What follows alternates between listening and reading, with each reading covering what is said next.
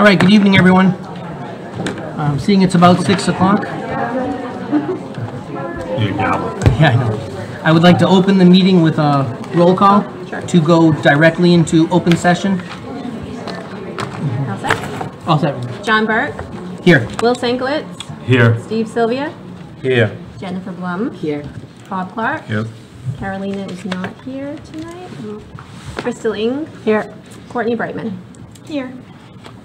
Thank you. In addition, we have uh, Superintendent Alan Strauss and a representative of our legal counsel, Ms. Kelly Gonzalez. I see LakeCAM present in addition. Um, Is there anybody here that'll be recording the meeting tonight? Nemasket? Thank you. Um, I would ask everyone to join me in the Pledge of Allegiance, please. John, beforehand, before we start that, I would like everybody to take a moment of silence for the victims in Georgia. There was a school shooting today, two teachers and two students passed away. Um, Let's take a moment for them and their families in the schools.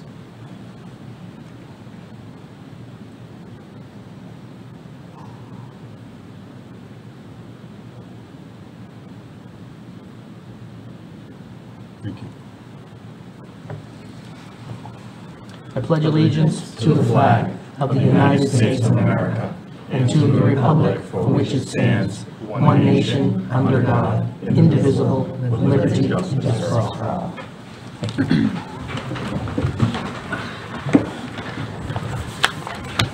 And I thank everyone for joining us tonight, this first day of school. I'll accept a motion to accept the minutes from the August 21st meeting of this year. So moved. Second. Uh, Hearing a motion and a second, any discussion? All in favor? Aye. Any opposed? Any abstained?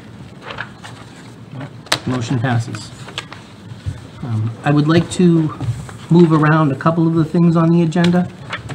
Um, I would like to move first, um, a committee update with legal uh, regarding confidentiality.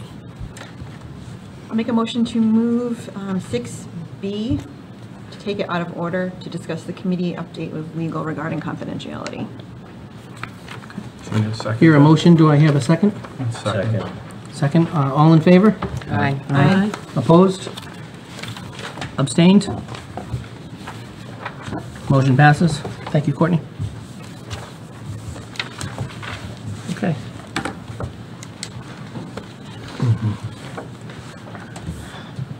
From our last meeting, we had a discussion that needed some legal clarification. I directed some questions to Kelly and her team, and they, pro- they have some, some answers for us that I'd like to share. Would you like to speak to it, Kelly? Please. So the first question regarded uh, the evidence that the superintendent provides to the school committee for purpose of the evaluation. The question was whether that evidence becomes um, as a public, public information at that time. Um, Any document um, that is received or created by a public entity is what's considered to be a public record for purposes of the public records law.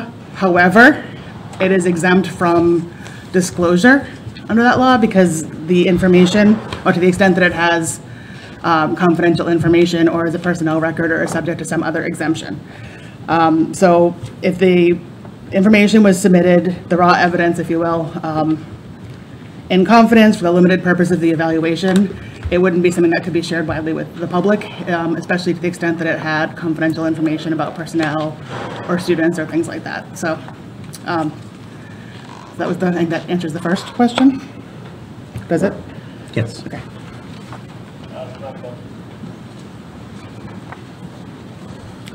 And then the second question um, was whether um, the superintendent is allowed to provide the raw evidence, so actual staff evaluations, email correspondence with parents, et cetera, for purposes of the evaluation. Uh, Yes, that is not impermissible. Um, I mean, there- One could argue that in some cases, there's a a best practice of redacting what you can, or maybe putting, you know, confidential notes on it just for and suspenders. Um, The superintendent is supposed to provide you with the information needed to properly evaluate him. Um, And so he would provide that information and, um, you know, some of the information I don't know well enough either way, but, you know, for example, student names or information or staff names might be relevant for him to provide you that information so that you can properly evaluate him. So again, that's meant to be provided um, to you as authorized personnel through your role as evaluators of the superintendent, so it doesn't make it public information. You are permitted to see it for that limited purpose. Did that answer that question? Yes. Okay, and then the third question, oh, was if someone could come here tonight, so yes. Um, Then the fourth question is if a committee member then forwards the email um, on the understanding or belief that it was public information.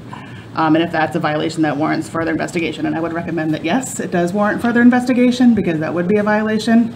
Um, If it's uh, communicated outside of sort of this circle, um, where things were provided in confidence, um, in compliance with, for example, FERPA and the stu- Mass Student Records Regulations. Um, If that, if there could have been violated, I think you need to um, investigate that, determine who got it, how they got it, and what um, steps you need to take to manage that. Kelly, thank you. Sure. Are there any questions or comments for Kelly? I, I think I just have a couple of follow-up questions. So, on the question of the email in terms of an investigation, can you recommend a path on what that would look like? Sure. Um, I think you can try to determine who it was sent to by whom, um, who opened it, who received it, when. Um, I think we can, we have and can pull what is done on this side of things. So if you used a Freetown Lakeville, um, email address, we already know, we can see that. Um, I know at least one person, um, was logged in in a, their personal Gmail and it just logged in, um, unintentionally, and I believe that they were given permission from the owner of the document, which was the superintendent, to open that. And that person has explained that they have not forwarded it to anyone else. Um, There is another person who has said that they provided it to their, um, if they gave it to the personal information, email, for example, they would then, and then shared it with other people, or downloaded it and shared it. That is, then we would know what happened and what was shared with whom. Yeah. So that would be, the first step would be to ask the person to provide that information, and then go from there. Uh, okay, so it is your opinion, we do need an investigation. Do we do the investigation right now and just have the conversation in open session? Or do you, do we make a motion and formalize the process and do the investigation in a different arena? I don't know that it has to be a formal process. My understanding um, is that the chair has gotten some information already, um, is after being notified of this. So perhaps he can share that with you and determine whether additional information is worth gathering. Um, But I I don't know that we know the full extent of what was disclosed. So there's, you can do it informally, you can do it formally. I don't know that we're going to get the answers tonight. Um, So you you could delegate to, you know, one or two people to be in charge of that. You can ask the person to provide all information to, for example, the chair by a date certain. um, And go from there. I don't know, I don't know the extent of it either, so it's a little bit hard to deci- to determine the scope of an investigation without knowing exactly um, what was released when. So, as the chair, or through the chair, would you like to set some parameters on how we're going to proceed? Because we did attach a pending evaluation to this, given we suggested that it may be compromised, giving the sharing of information. So how do you suggest we proceed at this point? So in terms of the evaluation, based on my understanding, I don't know that anything would hinder the uh, fair and accurate um, evaluation. If that is a concern, I think it certainly should be discussed and you should go from there. But simply sharing the information, even if it was improper, doesn't mean that the evaluation itself isn't, isn't proper. But again, if, if someone feels otherwise, now's the time to, to discuss it and go from there. Well, I, I think it's just an order of operations. I'd, I'd rather put this aside and, and get an outcome or a determination on this piece and then move forward with the evaluation. Whether we do it tonight, I'm, I'm sort of hearing a little bit of gray, but I think I'm looking, John, for some leadership on how we're gonna proceed, Okay. given you're the So- chair. So through the chair, Good. I think there's very little gray here, folks. I do. Um, I I think Ms. Ing came out and and stated that she did send the email to Margaret French. Margaret French did request access, superintendent denied access, right? So I think we can certainly look into it more and see what other emails were sent. If there are more emails that maybe shouldn't have been shared that were, um, I just have, I- I'm just so, uh, I'm disappointed, I'm distraught. Um, I think, missing, la- last meeting, 8:21, I went back and I watched the meeting, and some of your, your statements that you made just didn't sit well with me. Um, You said you actually called the Superintendent's Association. They agreed with your assertion that Alan was sharing private, right? Right. And MASC, when I spoke to Glenn this week, Got it. who said the same thing, and I have the documents right here. Yep, that's great. So I have a document as well uh, from Tom Scott from MASS. Can I have a second to read this for, Please. for the public? Yeah, please go ahead. Yep, absolutely. Uh, Freetown Lakeville School Committee. Uh, Dear Chairman Burke, I've been informed that a comment was made during a school committee meeting that an individual at MASS told Crystal Ing that certain actions by the superintendent were a fireable offense. I reviewed the recording of the meeting and spoke with colleagues. To my knowledge, not, no one at MASS spoke with Ms. Ing, and no one opined that any actions were a fireable offense. By the way of further information, a hmm. call into the office of MASS was received on Friday, August 2nd, 2024 by Robert Ing with a request for a callback. I returned the call the following Monday and spoke with Robert Ing. He proceeded to inform me that he was referred to MASS by DESE regarding his complaint to them, uh, a complaint to them that confidential student information was written by the superintendent of schools in a public document. I informed him that we were not involved in local issues and I expressed that I wasn't clear why he was contacting us. He seemed very uncertain about the reasoning as well and simply stated that DESE referred him to call MASS. He asked if confidential student information can be provided in a public document. I stated that it cannot. He did not provide the context, and I was unaware of the specific circumstances. At no time did I make the comment that this was a fireable offense. After 20 years fielding such calls, I'm keenly aware that there are multiple sides to these issues, and I have never, would never pass such judgment on a call. Sincerely, Thomas A. Scott, Director of Finance and Member Services. So this is from MASS. You also stated, right?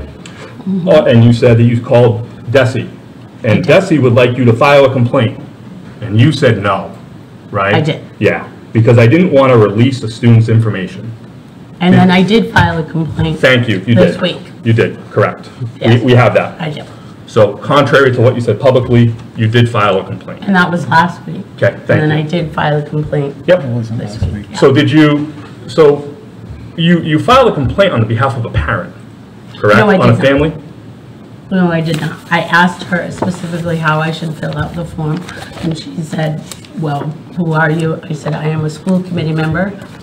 And I said that this is, for they said, I cannot file a FERPA complaint. Okay. And she said that you can file the DESE complaint, and I said, Sure. okay. Okay. Did you reach out to the family and let them know you were filing a complaint on their behalf? No. Okay, because I have an email from the parent as well. Because I called her um, this week to sincerely apologize that her information was being shared on behalf of the committee. Um, And I have an email from her. Can I, can I read that email through the chair? Sure, you may. Thank you. If I may, may I suggest you not read the names or conf- or information about who the person is, please, to maintain Yep, confidentiality? Absolutely. Thank you. Yeah, thank you. Great to have you here. Saved my butt. Um, Thank you for our call last Wednesday. It was valuable to touch base and gain further insight following my discussion with Mr. Strauss. I wanted to clarify a few matters in writing as it appears that there have been some misinterpretations and mishandlings regarding an exchange I had with Mr. Strauss in June, which continued over the summer. First and foremost, I have no objection to the email exchange between Mr. Strauss and myself being used as evidence in his evaluation. I believe that like corporate performance evaluations, evidence is necessary to support one's position. Since Mr. Strauss reports to the school committee, I view this process as akin to an employee providing performance examples to their manager. I do not believe my confidentiality was breached by Mr. Strauss, including my emails and his evaluation. However, I do have serious concerns about the school committee members sharing my emails along with other performance-related evidence provided by Mr. Strauss outside of the school committee. While I understand that Mr. Strauss' final evaluation is public, it is my understanding that the supporting evidence provided to and from the school committee should remain confidential. It is deeply troubling to me that a matter concerning my son was shared with individuals outside the relevant situation and hierarchy. I want to emphasize that the contents of my email must not cause any issues for my son or my family. I also expect the future correspondence to be handled with the highest level of confidentiality. As a best practice, it might be wise to redact key information before dissemination. Additionally, I have been informed that a school committee reviewed my exchange with Mr. Strauss and argued that it did not reflect increased parent communication, but rather frustration. This interpretation is incorrect. My son was involved in a serious issue at the end of the school year, and after exhausting efforts with local school administration, I escalated the concern to Mr. Strauss. His response was the only one that made me feel heard and led to productive discussions on how to improve the situation. Any frustration expressed in my emails was directed at the situation itself and not Mr. Strauss. He prioritized our concerns and fulfilled his commitments throughout the summer. I will not allow my words to be used to further agenda against Mr. Strauss. In the future, if there are questions about written text, I would appreciate direct communication with the author to clarify intent, rather than assumptions, regardless of an individual opinions of Mr. Strauss's performance. Sharing information outside of the school committee and misinterpreting emails is highly inappropriate behavior for an elected school member. Thank you for your attention to this matter. So that's from the parent. And saying, you also talked around, you talked to DESE. DESE told you to put in a complaint, correct? Yes. Okay. So I don't understand why DESE would have you put in a, in a um, complaint when on page 13 of the packet for DESE, discussing evidence pertaining to the superintendent's evaluation, it says, important note, right here, I can pass it around, right here. Any evidence collected by or shared with school committee as part of a superintendent's evaluation, particularly when such evidence may communicate information about students, families, and/or staff, must adhere to all confidentiality rules and regulations. Right there by DESE. So, the same, you've used the, the, word transparency numerous times in, in a number of different public meetings. Mm-hmm. We don't have a transparency problem right now. We have an integrity problem. It's integrity. I mean, your, your comments at the last meeting,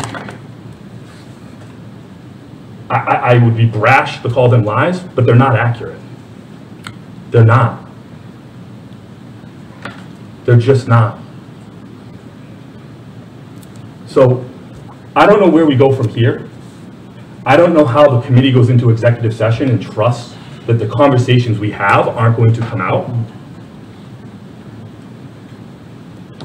It's my opinion, and I'm one of eight, that we do need to figure out a, a path forward here. I think a censure is, is the, the route to go, as you stated at the last meeting, not censoring you, not stopping your ability to speak, we wouldn't do that. A censure, right? Which is a public acknowledgement by a local school committee that what you did was not acceptable. And in my opinion, this was not acceptable. And I hope, I hope the communities in Freetown and Lakeville are watching and seeing this. The people that are calling for transparency, the people that are calling for communication, are the, the people that aren't communicating and the people that are the least transparent. Our town administrator in Freetown is putting information out, information requests out there through fake names. Jim Jones. It's a joke. No. So moving forward, we need to figure out a path. Because we're sitting here on the first day of school and we're not talking about the kids. Period. So I would like to make a motion to publicly censure Crystal Ing for sharing information outside of the committee. And as part of that motion, I do recommend removing her from all subcommittees that she's a part of. I don't know how I can go into negotiations with teachers and make sure that that story is staying in the room at the negotiation bargaining table. I don't. and I don't know how we move forward together. So there's a motion Is on the this, floor. I- I'm just gonna say this, Will. Is this something you really wanna do? It is. Yes. It is, okay. Okay. Is that a threat? Because I'm kind of taking that as a threat by you saying to him, okay, okay, what's next, Crystal? I didn't, thre- I didn't threaten anybody. Just All I the did was question. ask. You said, okay. So through the chair, point of order, please. There is a motion and a second on the, Okay. I, I have a motion and a second. Is there any discussion? Crystal, do you, do you care to speak to it? All I can go is what I was told. Um, I don't move without investigating everything, and I told you what I had to say. Um, You know, you guys moved this out into the public, you were going to do it in executive session. Um, I, I don't even know what to say anymore about this. You know, if it's not one thing with you guys, it's another you know? Um, but you want to take me off the subcommittees? I can't stop you from doing that. But like I said, I don't do these things, and if, if that mom was upset, I, I called DESE, I spoke to DESE. I called Glenn at MASC, I spoke to him on the phone. You know, I called the Attorney General's office, I spoke to the Attorney General's office you know, I was given the correct information as they saw it. Um, you know, it, I guess we see what happens from here. You know, if that, if this is what you want to do, I mean, I can't stop you from doing it. But I can say, I'm not resigning, if that's the way we're going with this. just to respond to that through the chair, the words resign never came out of my mouth during that, hmm. what I was just talking about. Oh, I'm just, mm-hmm. I'm, I'm, I'm just saying it. That's, that's all. I never said you said anything. John asked for my response and I gave it. Yeah, I mean, there's some, some serious allegations on both sides. You know, I mean, I don't know how to address a situation like this. Both sides. What, I where's know. both sides there? No, I mean, there were serious allegations in the beginning, you know, and now we have some evidence that, you know, does not corroborate any of that. Right, so when you say both sides, it's not from our Uh, side? yeah. No, I Right, I just want to specify that. I misspoke. And and if I could just add, and Go ahead. and I think we'll learn more about this later in the mm-hmm. agenda with an open meeting law complaint that we have to address. And, and you say we were going to do this in executive session. I can't speak for the committee, but I have no confidence or trust to ever go into another mm-hmm. executive session again under the current makeup of this tr- committee. Mm-hmm. I just don't think we can be productive, and, and I think we need a path forward. So that really does limit our ability to have conversations about certain negotiations and other matters. But given that open meeting law complaint that frankly has no merit, I, I would real, really have reservations, trust and confidence about doing that. So we'll get to that at some point, but Later in the, later in the agenda. Mm-hmm. You're correct, though.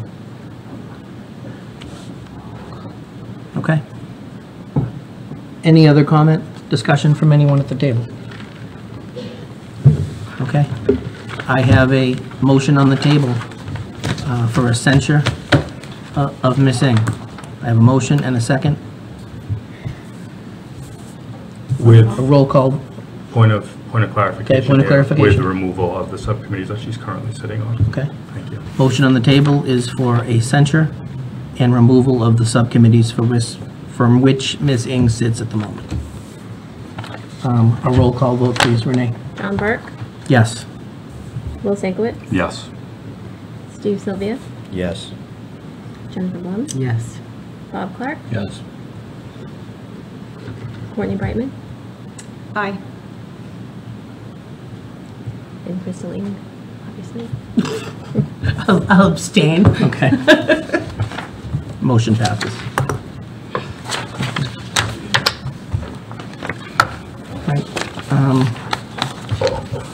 Moving on to the, Can I, can I just Question, add, Steve? I, I, I do want to follow up on the email piece. um, And, and if we could, through the chair, request something through the IT to see, I mean, I could ask you directly, but I, I don't know that the answer, um, I, I don't know what I would get for an answer. But who did you send the email to? Did you send it to other people? Did you send other emails to people? What was your intent in sending that email?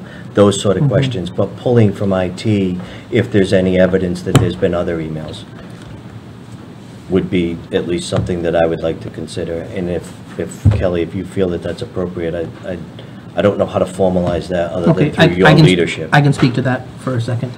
Um, There is an active information request going on. Okay, for that information, outside of, of what has been shared um, verbally in an open session. Um, I have not been provided any, any evidence to. so, so you this has been active to for that. a few weeks now. Do we have a timeline on when when this will be complete and we can get some responses on that? I do not at the moment, Steve. Or we have to set a date, I assume, if they're direct questions to missing? Would you like me to jump in? If you can, yeah, jump, Okay, that'd be great. you. So there was a public record request. Uh, I don't have the date in front of me. We actually complied to the extent we could. The only emails that we don't have are the ones that are missing. Um, My understanding is they've been requested a few times and have not been provided yet. I, I asked John if, when I was in open session, I said who I provided it to, and then I said, do you want the actual email? Do you want me to forward you the forwarded email? Yes, we Is need that, those. that, okay, So any emails that you sent, anything that you sent from your Freetown Lakeville account, we can already, we've already pulled and produced. Right. To the extent you did it from a personal account, we don't have a way of getting that without you providing it to us. So if you have texts, emails, whatever, outside of your official accounts, That was you can it. please forward those to John, or you can forward them directly to me, and then we can produce them. Or we we review them first. By Friday, by It's overdue, Tomorrow. so by Friday at the latest would be wonderful. Great. I can send them to you tonight. It's just that one That'd be great. email. Thank you, Crystal. No problem. Thank And you. sorry, I have one more thing, and if you downloaded it, and then, because we can see sort of people who requested it, but if you, did you download it and send it to anyone, or is it just the forward? No, it was just the forward. Okay. Thank you for that. Thank you. Kristen. Thank you, everybody. No problem. All right, moving on. Um, Superintendent's evaluation. I'd like to make a motion, please.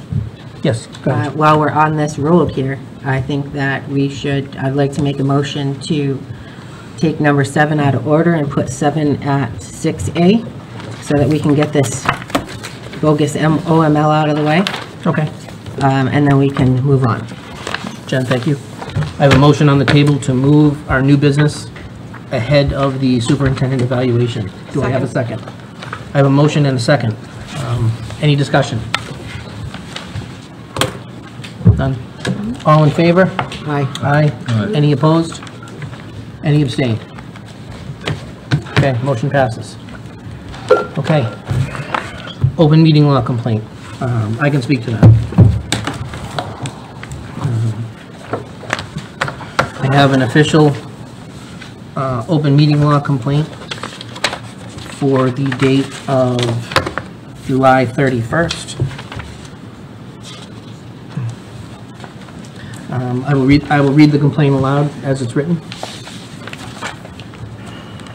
On July 31st, 2024, the Freetown Lakeville School Committee entered an executive session under pretenses, citing the reason as discussing negotiation strategies for non-union personnel. However, the discussion revolved around the superintendent's public survey results. When I inquired about releasing the survey results, Ms. Blum stated that it contained personal information, to which I suggested redacting the sensitive information. Mr. Clark opposed this, claiming the public would not want to see the survey results. Upon returning to open session, Mr. Sankowitz falsely claimed that the survey results were overwhelmingly positive. The next topic of discussion was the violation of the open meeting law by the Superintendent Evaluation Subcommittee. During this discussion, Ms. Blum mentioned hearing about an open meeting law complaint with the Regional Finance Subcommittee, parentheses, I'm committee chair, which Steve Sylvia supported. The making up of the rumor went on for several minutes. There was never any open meeting law violation for the Finance Subcommittee. Additionally, no meeting notes are available for the executive sessions, and the committee has been accepting meeting minutes without them. These are some unproductive and unprofessional behavior exhibited by four Freetown Lakeville Regional School Committee members. Over the past four months on the school committee, both I and Carolina Hernandez have been victims of harassment, including sexist comments, underlying tones of racism, and emails from fictitious residents of Assonet and Freetown. These emails contained information that was discussed during executive sessions. When Carolina inquired if veteran committee members had sent these emails, no one in the room denied it. Furthermore, emails from concerned citizens forwarded to the committee received no response or investigation of the incidents. The committee has a history of harassment as exemplified by Ms. Sherry Barron's resignation last year due to bullying. Um, The form asks, what action do you want the pub, the public body to take in response to your complaint? The complaint says, the four committee members should resign their positions on the Freetown Lakeville School Committee. A public apology, a public apology for their behavior unbecoming for a public official. Um, This complaint is signed Crystal Ing and dated August 20th of this year.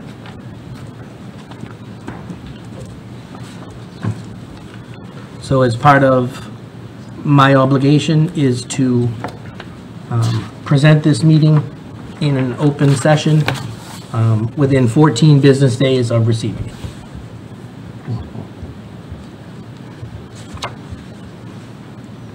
Open for a discussion? Yeah. I would like to go first. Oh, sorry, can I make a suggestion? Yes. Um, It seems like we have two different issues in this open meeting law complaint. Correct. Can we sort of tackle them? One is the open meeting law, right? The, something that speaks to the open meeting law, and then there's another, other allegations that I don't think necessarily speak to the open meeting law. So can we tackle them separately? I think that's fine. Jen, you requested to speak, or right ahead? Yes. So I did prepare a statement due to the terrible allegations and lies, and also to the very reckless reporting of Nemasket.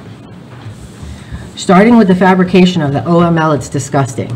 Not only is it a complete lie from start to finish, but filing a public document accusing four of us of harassment, including sexual comments and underlying tones of racism is deplorable. Technically, only 10% of what you wrote pertains to an open meeting law violation, and the other 90% was you taking advantage of a public document to slander four of us, stating that the school committee has a history of harassment and that Sherry Barron resigned last year due to bullying. I personally have never witnessed anyone being bullied. What I did witness firsthand was the propaganda spread by one individual outside of the committee against Superintendent Strauss that led to a separation within our committee.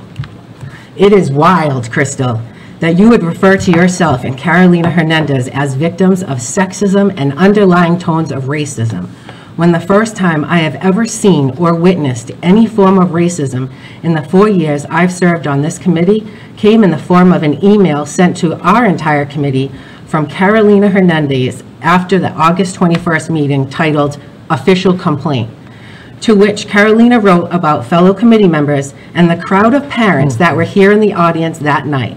And I quote, "The chair lost control over the crowd and the ladies, I use this term loosely, sounded like hyenas. It just felt like our meeting was held in a project complex," end quote. I find this statement hypocritical, considering Carolina is named in the OML as a victim of harassment, sexism, and racism. Her statement undeniably has underlying tones of racism, yet there are four of us up here who have been called racist. Comparing our, compromising our professions and our reputation with these strong allegations is unforgivable. But you didn't stop there, Crystal, did you? Nope, you went even further by being in contact with Anna Milton from Nemasket Weekly and spewing, spewing your lies in which, without reaching out to any of the four of us or getting the facts, Anna wrote a story utilizing all your false allegations. Ironically, this story that was completely untrue and put our names in print and on the internet as sexist and racist was published right after you learned from our chair that you may be censured. Because of your reckless, because of you and reckless reporting, our names are out there for our fellow community members, our families, our neighbors, and our employers, our employers to see. Sexist and racist, these are serious allegations and all faults. I can't emphasize enough the impact this has had on each of us. As a Jewish woman, living in the times that we are, with anti-Semitism at a 400% rise here just in the United States, I am very familiar and have experienced that myself. And I would never, ever want my name associated with racism. In fact, everything I stand for is completely against that. Using racism in the manner to which you did is completely disrespectful to everyone who has actually been a victim of, raceful, of racism, and it is shameless. And without, it is no coincidence that since April 23rd, we as a committee and our superintendent have been met with nothing but opposition and attacks. It has made serving on this committee unbearable and has made it nearly impossible for us to get the work we need to get done for our students. Enough is enough. We are not resigning. The only person here that needs to resign and should is you. It is time that we get back to why we were elected. As you can see, I am very aggravated, I'm emotional at you, at Nemasket.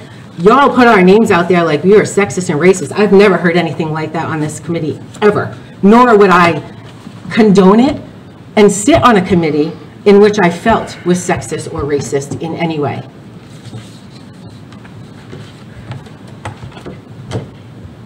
Anybody else? Bob?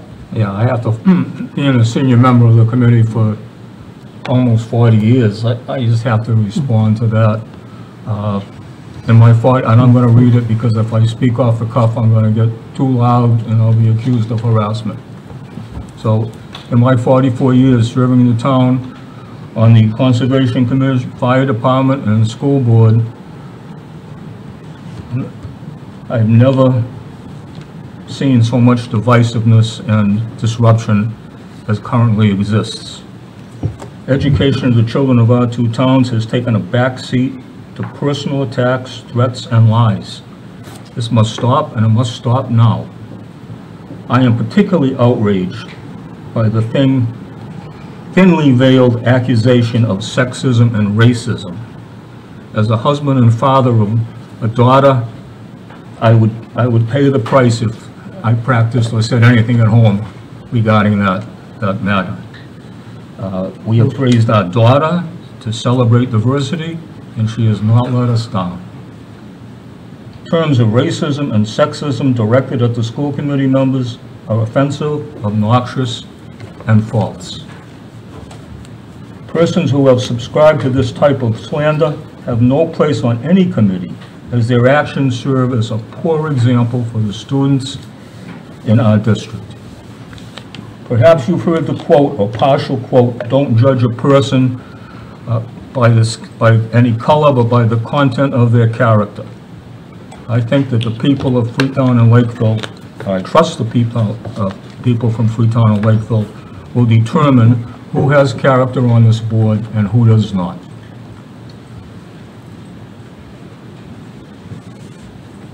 Thank you, Bob. Anybody else? No, I, I would only say uh, it's a privilege to serve on this committee. I've always done it with integrity and respect for all sides of the issues, and, and I never thought in my tenure on this committee that I would be in a position to defend myself against allegations. Um, it- uh, uh, We have to do better as a committee. We have to do better for our students, our staff, and the school community. We, it, it has to improve.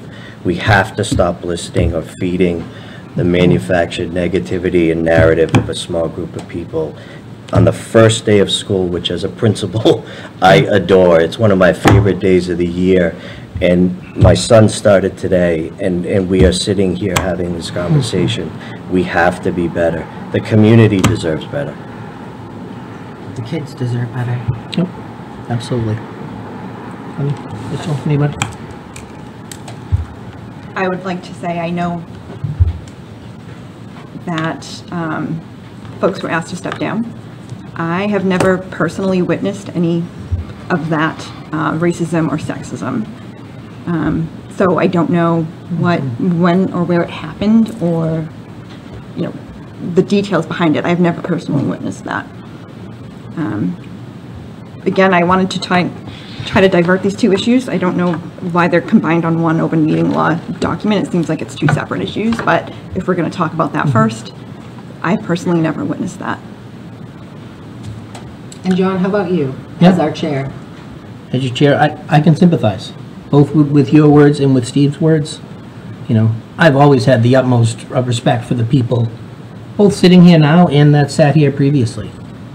You know, prior to becoming elected myself, you know, I sat in those chairs over there for the better piece of five years. You know, and I would show up just about every meeting. I'd have my notebook and my pen, and I would sit there and I would take notes. I would go home afterwards, I would look up things that I didn't know the answers to, and I was just trying to learn. When I finally was elected here, you know, I thought I had a pretty good idea of what went on up here and what the people did. And there was a lot that went on behind the scenes that I'm, I'm still learning. You know, I've, I've used the, the term, you know, speaking to people before is, you know, even if the group of us up here all understand the rules and the guidelines perfectly, and we're all on the same page, the job is still difficult. You know, when, when we're divided and there's, you know, a lot of controversy in politics, the job is impossible. You know, our kids deserve better. Um, That's really all I have. I don't, I don't know how to address something like this. I'm asking you the question, have you ever witnessed racism or sexism on this committee? Not once. Thank you. not with this committee or any committee that sat here before. You know, I think, you know, the eight of us are, or I should say that Caroline's not here to speak for herself, but, you know, we're voted here by the towns because they know there's gonna be controversial topics. There's gonna be some heated discussions, you know, and they trust us to, to handle those conversations.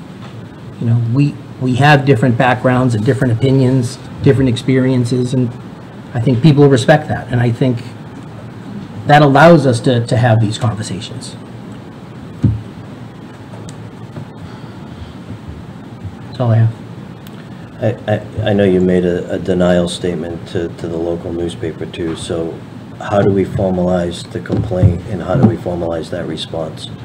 Um, and then I assume that goes to the Attorney General? Do you want me to, do you want me to take this one? I would love for you to this Sure. one. So within um, 14 days of the date that it was submitted, which was August 20th, you have to distribute it and meet, so you've done those two things. And then you need to write a response and take any remedial measure.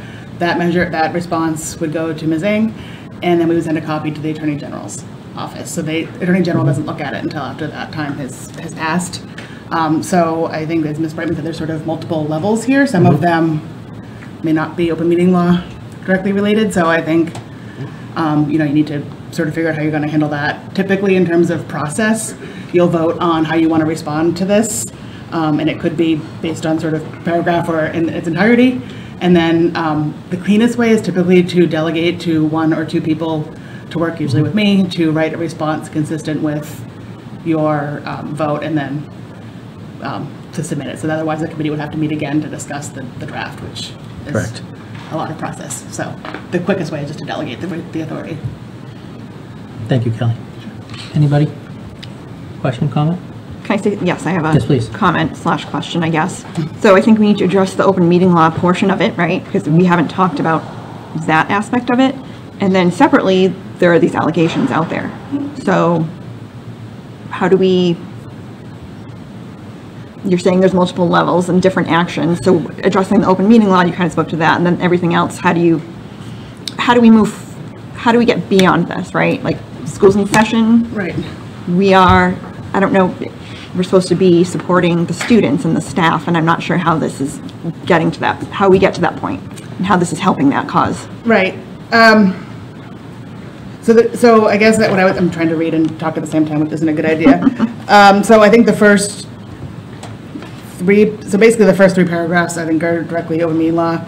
The fourth one, I don't under, I don't know that it is, but certainly if Ms. Ing wants to, um, you know, elaborate on the point, we can also determine if another investigation or other action is appropriate. That can be a vote, or that can be for, you know, you can also sort of say this doesn't need open meeting law response right now, but we're gonna look into this further.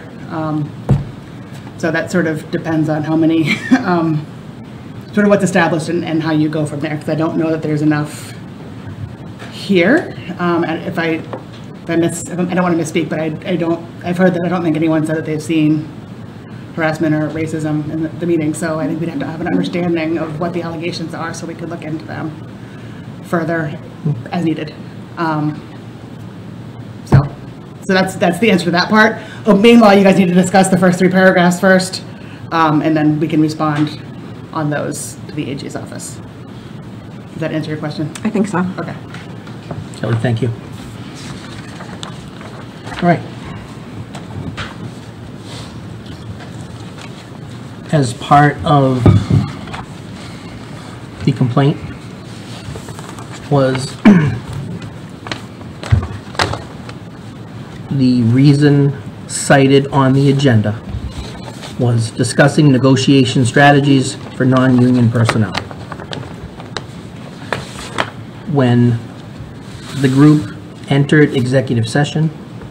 We spoke to, I can find my minutes at the same time.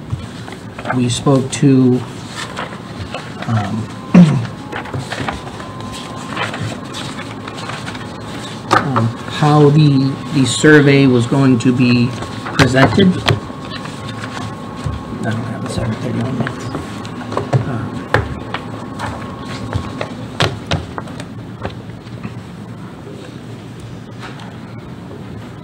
a question arose about a possible open meeting law violation from a regional finance subcommittee meeting. The question was directed towards Ms. Ing, who is the sitting committee chair. Um, Steve, Can I just clarify, the question was, was the meeting posted? Period. Correct. Or question mark? That's it. That's it. Was the meeting posted? Okay. It's hard to go through this because it's, there's so many mistruths and discrepancies. For example, like that, a perfect example. There was no big discussion, it was a question, was the meeting posted? And it was in executive session, it wasn't an open session like it's talked about in there. And just further clarification, and forgive me, some of it was a bit wonky because I was virtual. Right. So I mm-hmm. wasn't even physically present, but you were talking about an open meeting law violation that was filed by a gentleman in Georgia, I believe. Mm-hmm. Correct. And I think the, the conversation was about potentially opening ourselves up to other violations.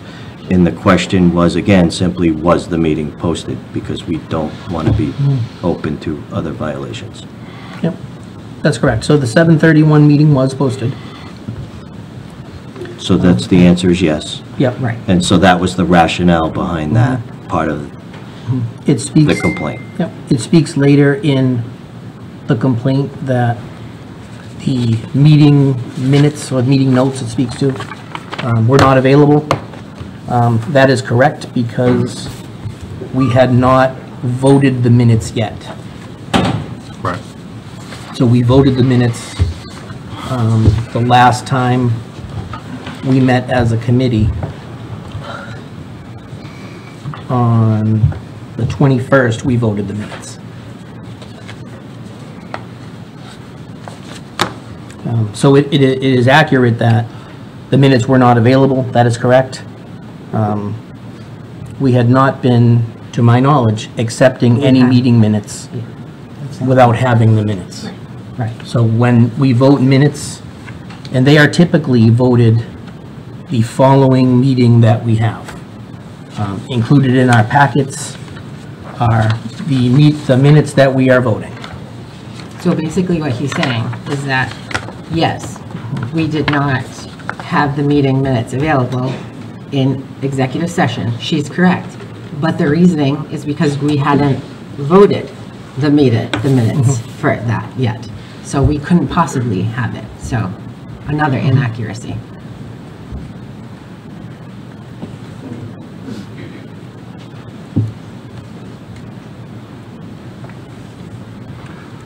So coming out of that was a question about a potential open meeting law violation for the Finance Subcommittee.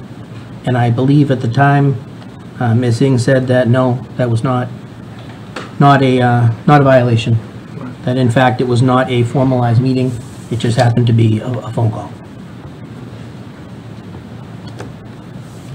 So that is, that is how I would address, or that is how I would recommend, you know, address, addressing this complaint. You know, Through the chair, Kelly, you you look Thank you. confused. So I just want to. Does that give you enough information? I don't know, I want to restate it because I'm not sure. Thank you. I appreciate that, Sylvia. Um, Okay, so the- I think we're on paragraphs two and three. So for number three, you understand the allegation to be that there weren't meeting notes available for the executive session. The reason was because you hadn't approved them yet. Correct. And once you approve them, they become available. Correct. And you approve them at the next meeting. Correct. Okay. And for the, the paragraph that starts in the next topic of discussion, um, that was about a alleged violation of the Regional Finance Subcommittee.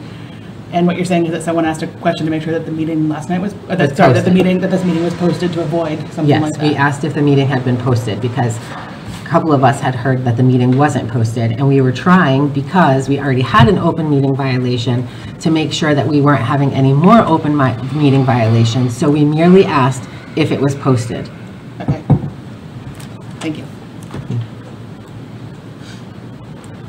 So then you need to just address the first paragraph, I think. So the purpose of the executive session and whether that's what was discussed, without giving details of what was discussed, it hasn't been public yet.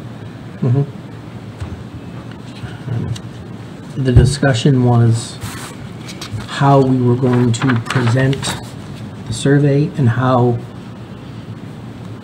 the, um, the meeting was going to proceed.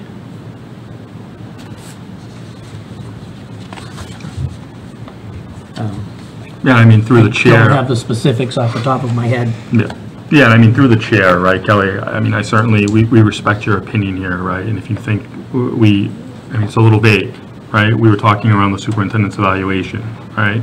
We're talking about a survey that's evaluating the superintendent.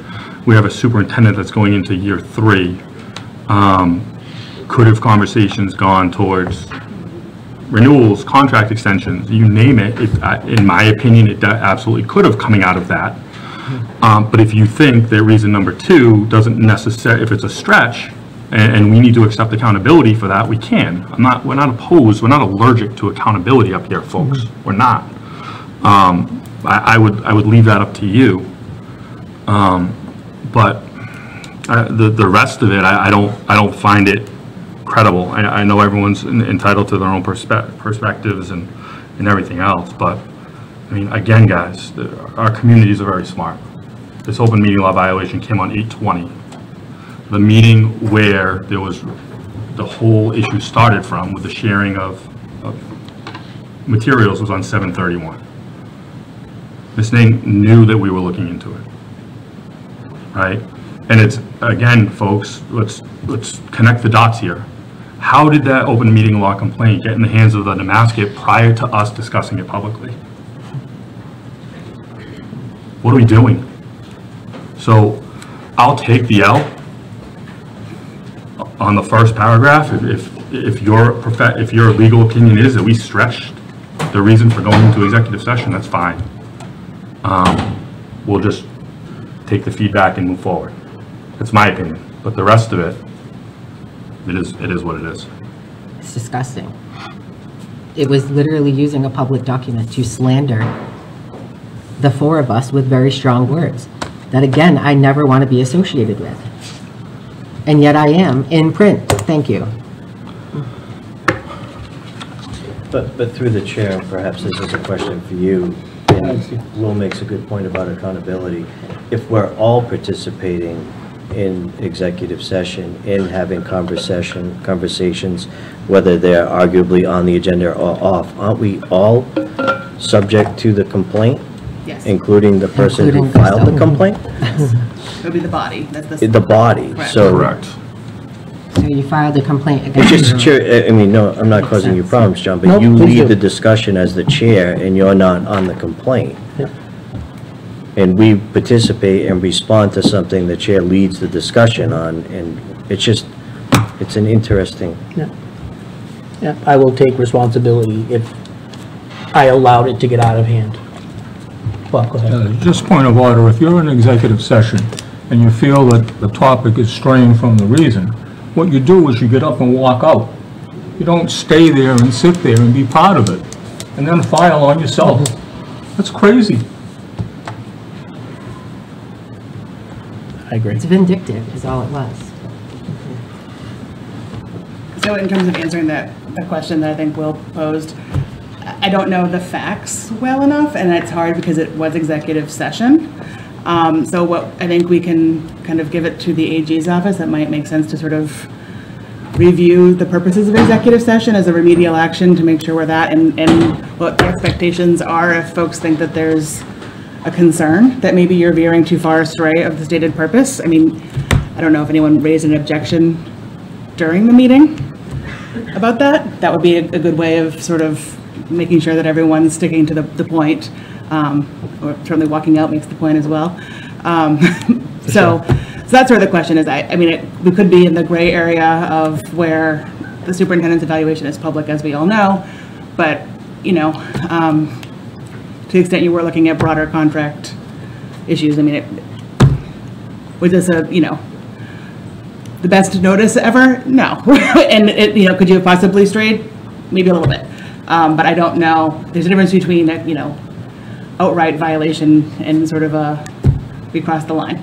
I guess, I mean, which is still technically a violation to be clear, but, And I'll own that. yeah. Um, I'll own that. so we can, so I guess the, the question for you is sort of, you know, again, I, I wasn't there, so I don't know specifically how far under the umbrella you went versus how far outside the umbrella you went, so that's sort of for you to, to discuss, but we can certainly report to the, to Ms. Ing and to the AG that, you know, to the extent you went beyond the scope that you should have, um, in terms of the surveys or what have you, then that would be something that you'd want to rectify, and, and again, maybe it would be a refresher on the purposes of executive session, and I know that um, Will referenced the DESE Guide to Superintendent Evaluations. Um, It's a fabulous read.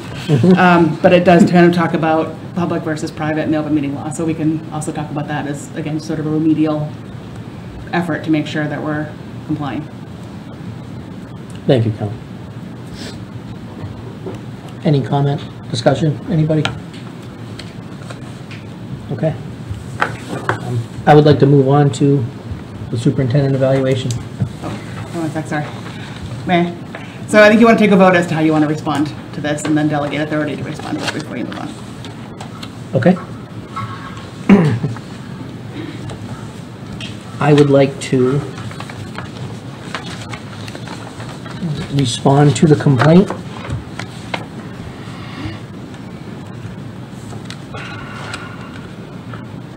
Um, First explaining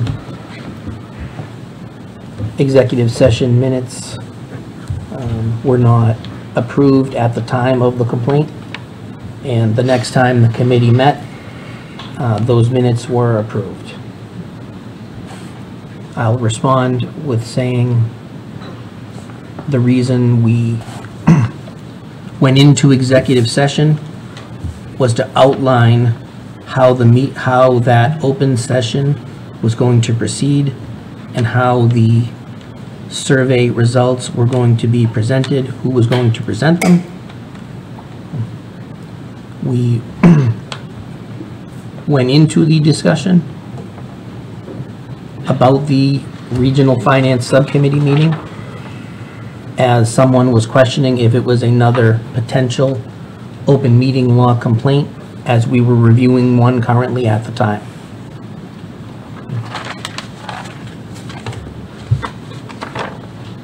I will share my own statement and others I heard in this meeting today about the views of the committee for some of the, uh, the harassment, the sexist comments that were alleged. I would like to make a recommendation. Um, Not a recommendation, I will say that the committee members present, um, no one is willing to resign their positions as school committee members. I will apologize for allowing this executive session to go out of control.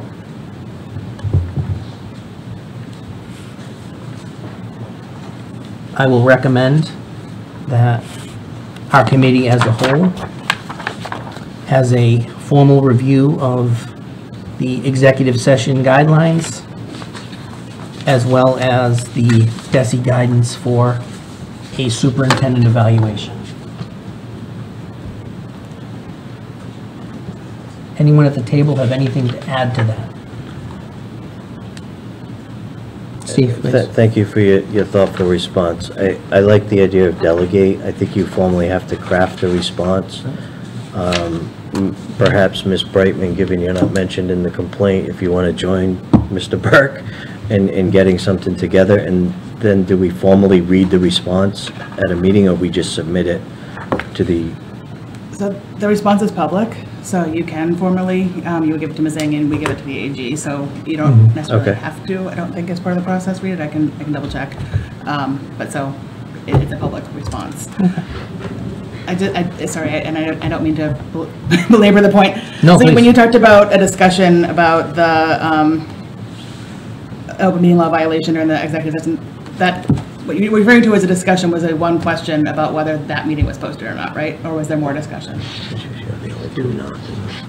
Will do. Yeah, through the chair, there was, there was discussion around the um, survey that went out as part of, to the community for feedback. No, wait, I'm sorry. Um, I, the question about, I think the chair is saying, oh, get the meeting getting out of hand, and I just want to make sure, or control, and I want to make sure I I- understand what that.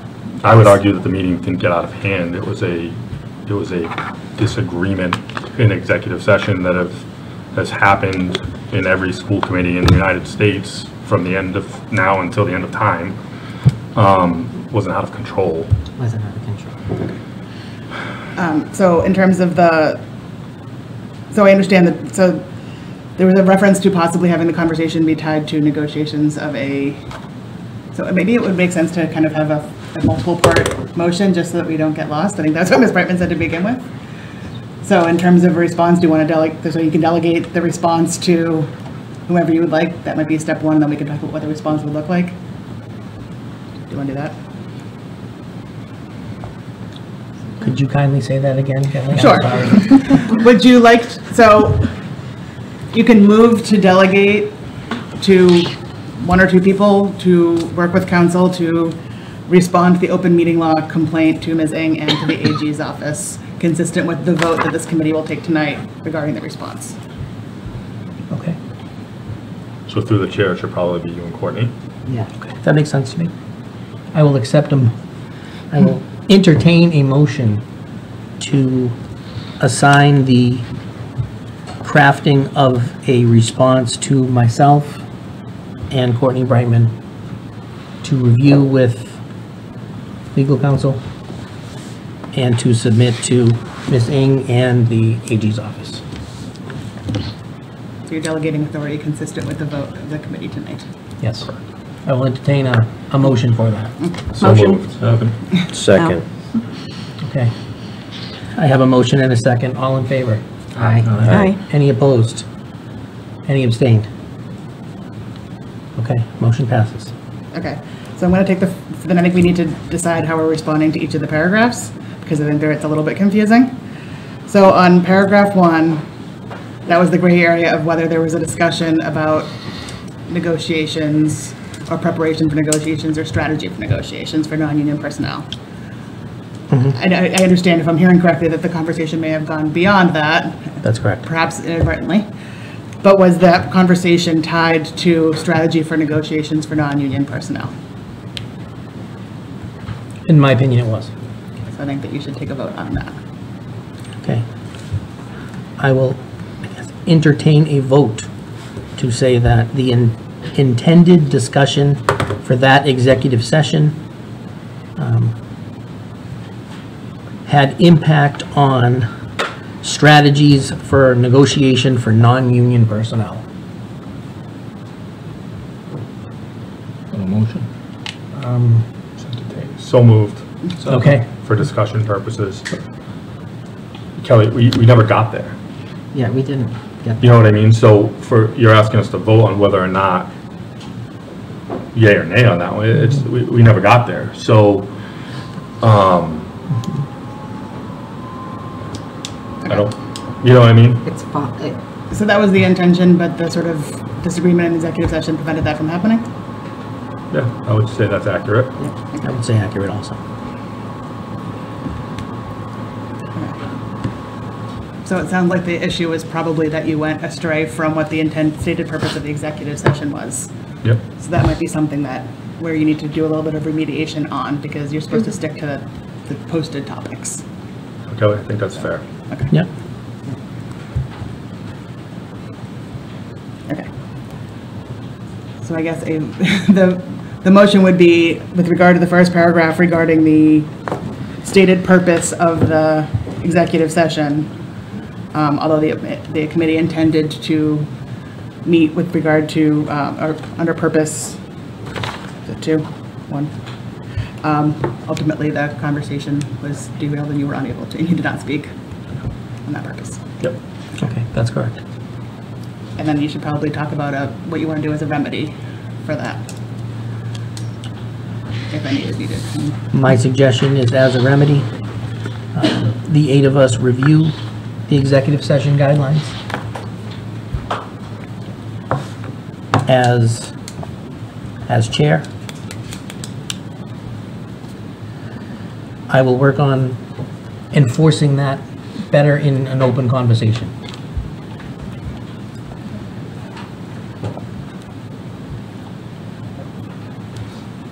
Just as an idea as well. Maybe, uh, tapping in Glenn Koocher from MASC to help us with that conversation Okay? would be a solid move as well.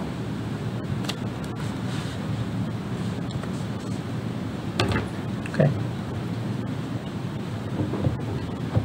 Is there anything additional we need to address?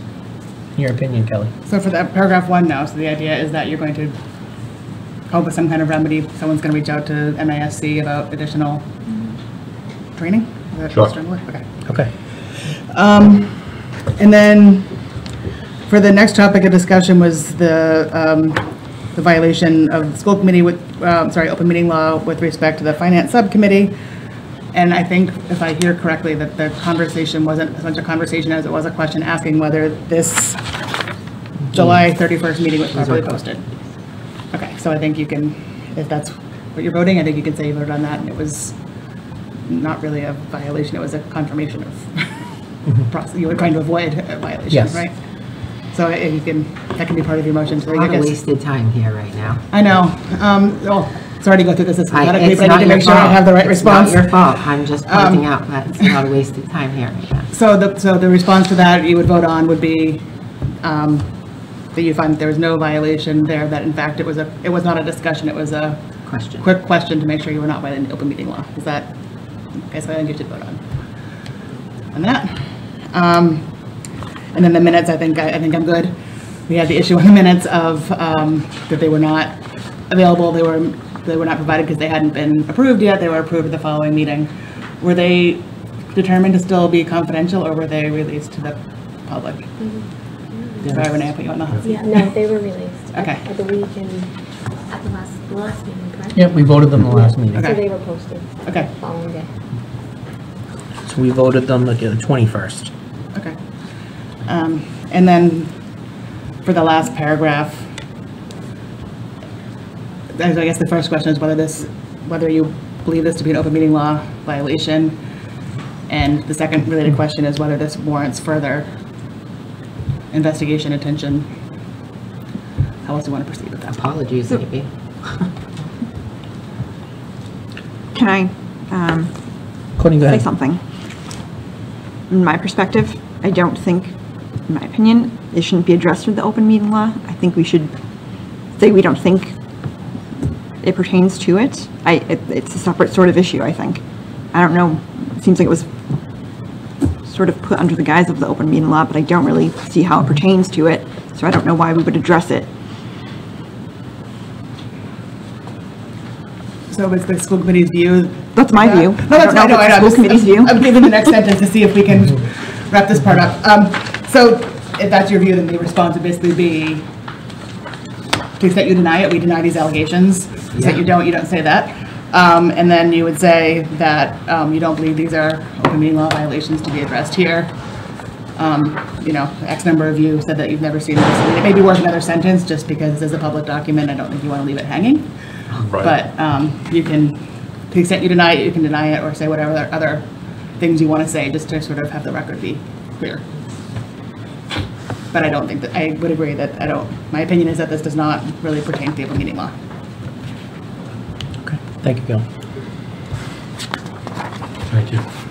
Thank you, Kelly. So you need to, so I just said all those things, you need to actually have a motion and vote to, that that is your answer on this. I- I'm okay with that, but can, can I read this before it goes? Do, will we have a chance to read this document? Of course. Yeah? So for you to read it, you can read it, but you can't comment because that would be deliberating outside of the open meeting law. Okay, So if you want, you can have another meeting to then discuss it or review it. Okay. Um, You can certainly review it, but if you're going to comment on it. it's just a lot to process, and It we is. covered quite a is. bit, and I, I just think, you know, the denial of the allegations and that it's not part of the open meeting law combined with the first couple of paragraphs, I, I think we've gotten far. Uh, But just seeing this in a document, I think would be helpful, not deliberating, just at some point reading it. Okay. If the committee as a whole wants to see a draft of this and be able to participate in the editing of it, I could request an extension for the complaint response, and we could have another meeting to do that.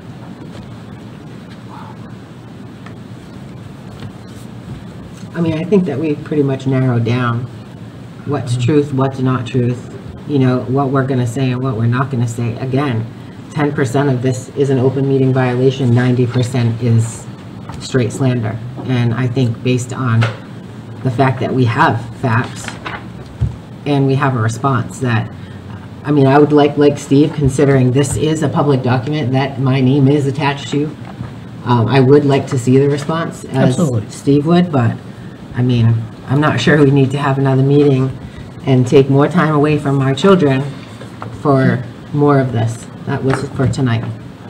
Right, and I- and I'd prefer to read the response and not in a local newspaper. And not in a local For sure. newspaper. That doesn't have the facts. I can appreciate that. So you can review it, you just can't deliberate on it by email. So that's, We will. that's the line, yeah. We will. Thank you. Okay. Thank you, Kelly. Is there anything else that, Thank you, Kelly. Just stay for a minute. Um, No. Nothing else, Kelly. Thank you very much. um, You are welcome to stay for the remainder of... I actually would like her to, and I'd like us to move to number eight before we go to the evaluation. Okay. I have a couple of things to say, not surprising. Um, There was a comment made previously about um, Glenn Koocher from MASC, and I'm paraphrasing, um, said something to the effect of, yes, it is a, um, I won't- use the term fireable offense, but I will use the term that it is improper. I want the community to hear this. Every school committee member who is new must go to MASC training. At MASC training, everybody receives packets of information, much of which goes onto a flash drive.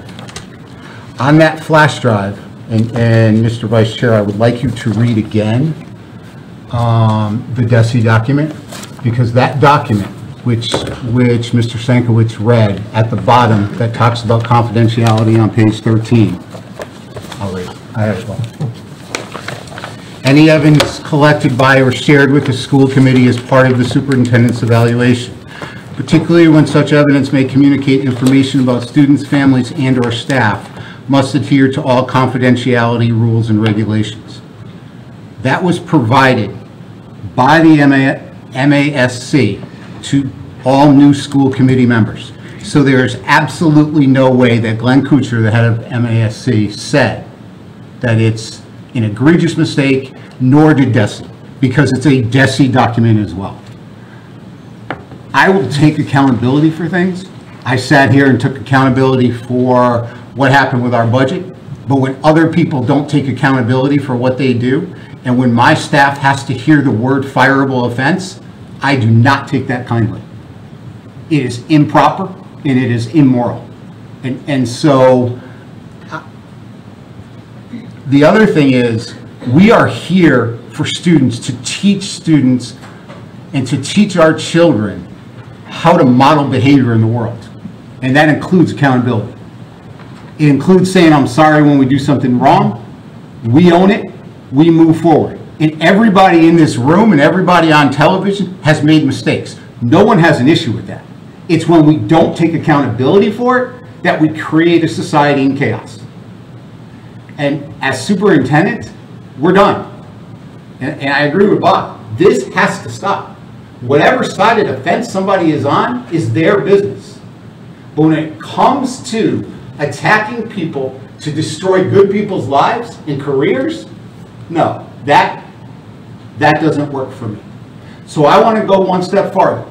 I would like Mr. Sankowitz to read the um, public records request that was sent under a pseudonym. I don't know if I have that in front of me, Mr. Strauss. Certainly go in my phone and dig it So up. you- so Um, you- It was, it was mentioned publicly just now. Yep, but I would like some, I would like to add to the fact that a public records request, and that's why I wanted Kelly to stay, because I really want to talk to this community about the amount of money that this district has to spend on public records requests. I could hire a para, I could hire another teacher, it's getting ridiculous.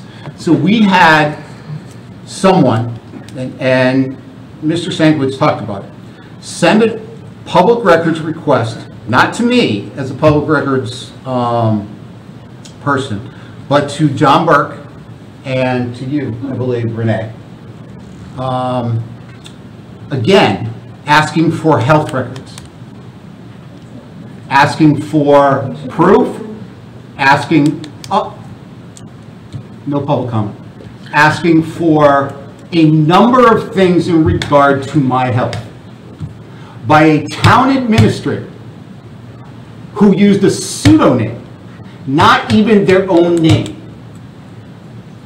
And yet, for three months, I listened, meeting after meeting after meetings, hearing that I'm not transparent in regard to the budget. That we need to do an audit in regard to central office because central office isn't transparent. Well, I use my name in everything. So to use the name Jim Jones, a cult leader, is disturbing to me. That is such a misstatement right there.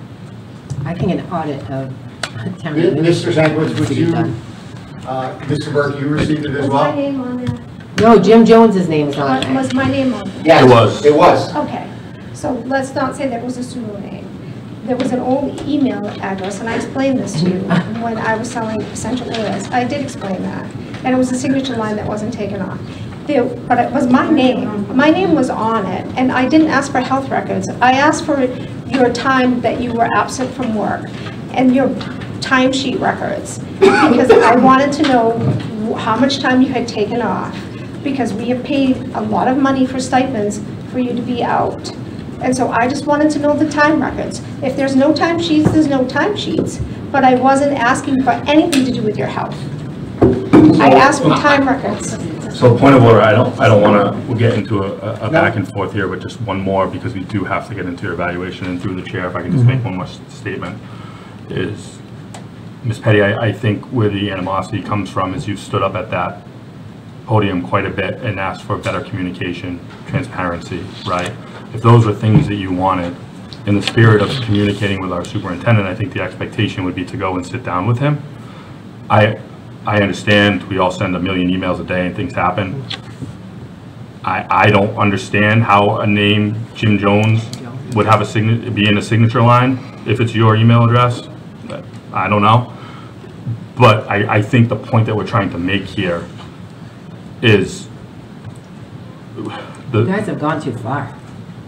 it's, I, I, I think it's, it's, it's ironic, right, given that you, you're calling for. So, so this is what I want everybody to hear. And I don't get a response though. I still don't get a We response. talk about budget all the time, and our towns don't have a tremendous amount of money. In the last three and a half months, we have received more public records requests than you could ever imagine. And by law, we have to go through them.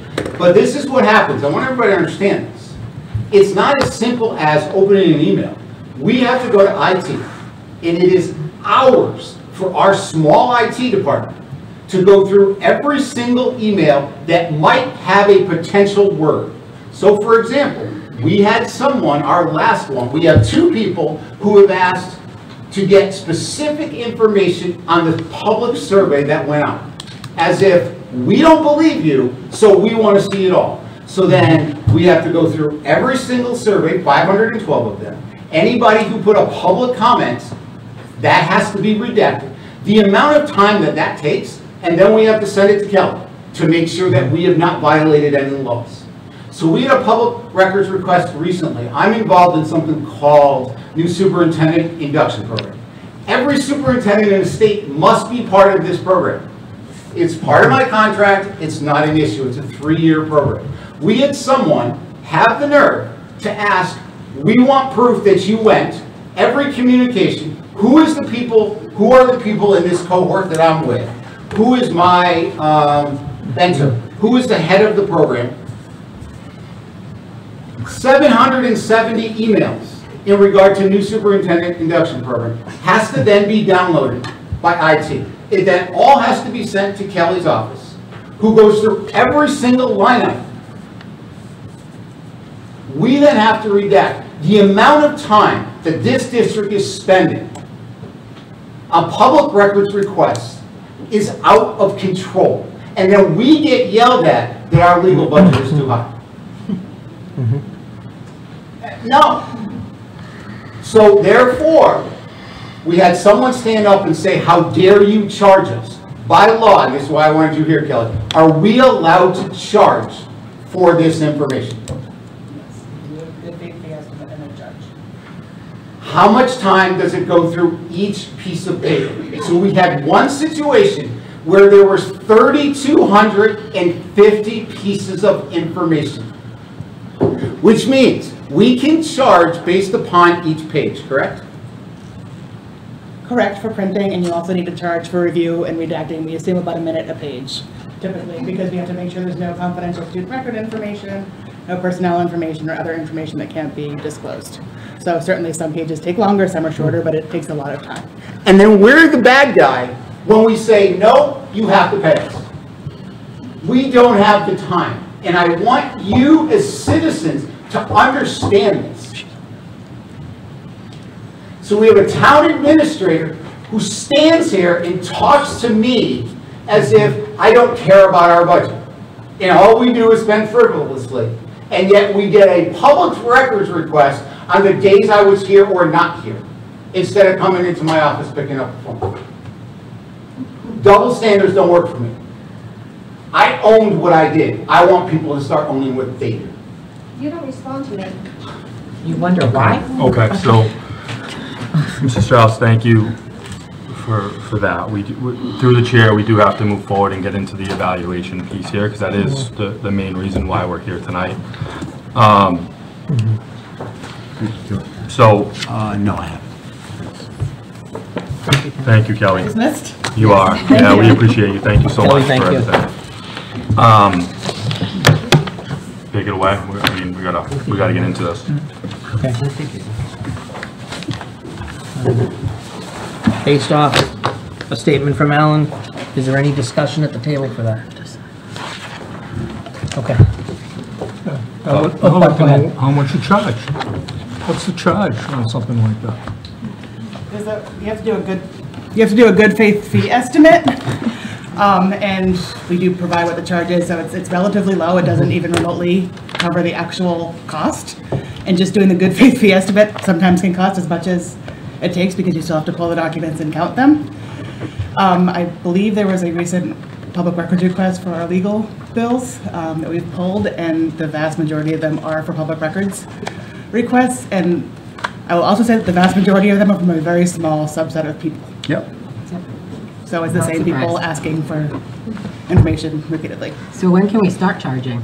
Tomorrow? Immediately. So- So we sent out a public response today. There's certain things that are, you can find in two minutes. That, that, we don't charge for that.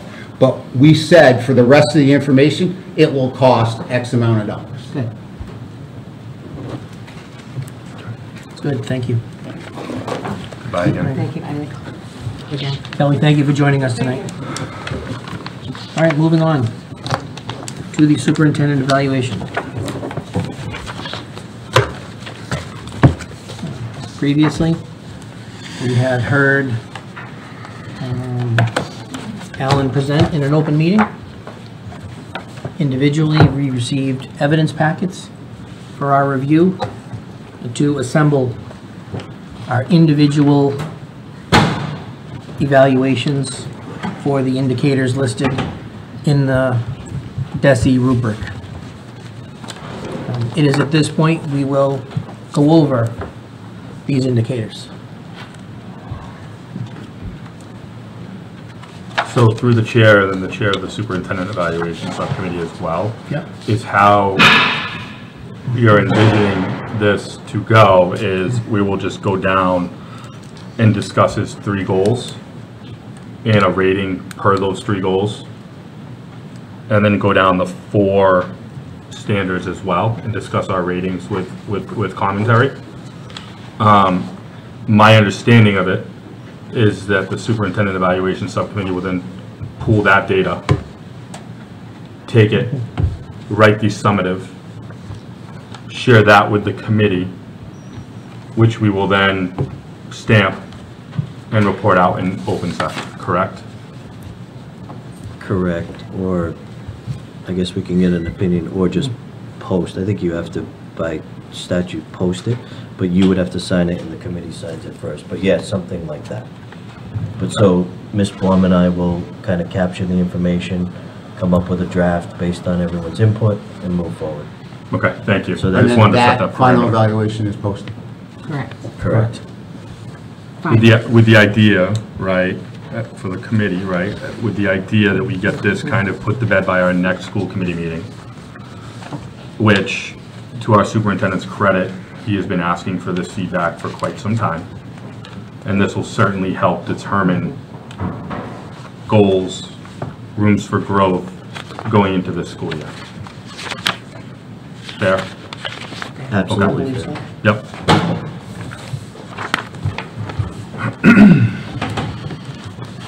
Okay. Being my first try, I would like to just go one by one through the indicators for each standard. I would, I would be I think- I open think he to, said to start with the goals.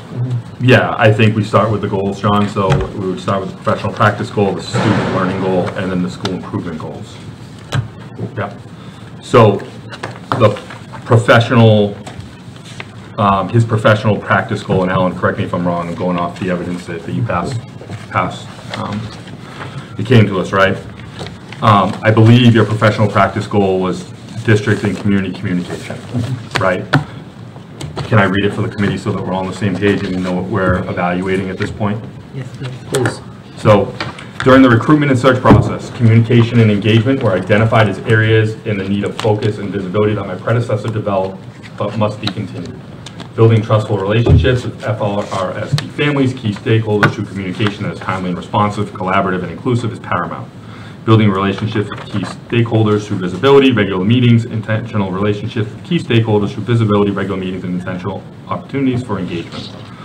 Um, Effective, honest, timely, and open communication will be promoted through the development plans to um, operationalize communications protocols, processes within our schools district-wide.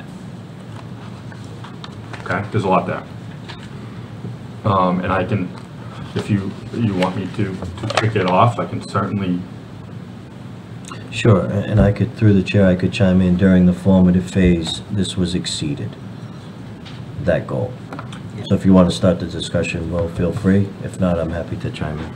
yep, absolutely. So uh, through the first year, obviously, we had them as exceeded, right? For me, I, I do think um, I have it as met, so I did take a step back. Um, Just given the fact that the superintendent has been very, very open and honest with the fact that he has to continue to communicate. We've heard feedback from the towns that sometimes towns receive some documents, the other town does not, right? In a regional district, there are a myriad of, of stakeholders that our superintendent has to communicate with, and I think maybe working with him as a committee and, and coming up with some protocols in place and subgroups um, could potentially be of use. Um, And I know, I'm not telling the superintendent anything he hasn't heard from us already. Um, Communication for him is already, is, is going to be, continue to be a, a focus. Um, And it, and it certainly needs to be. So that's, I have him as a met there. We did have him as exceeded. Um, So, that's where I'm at. Steve? I, I have um, sort of a met and exceeded as well. Um, I think, you know, some of this is feedback for the committee. We, we talked about, and I think we have to hold to it, doing this on, on every year, um, moving forward and not over a two-year process. So that's more feedback and, and something we can look forward to. I'd like to see a similar goal, but, but I thought, uh, Mr. Strauss, you did a great job presenting your evidence. Um, I, I watched that from afar.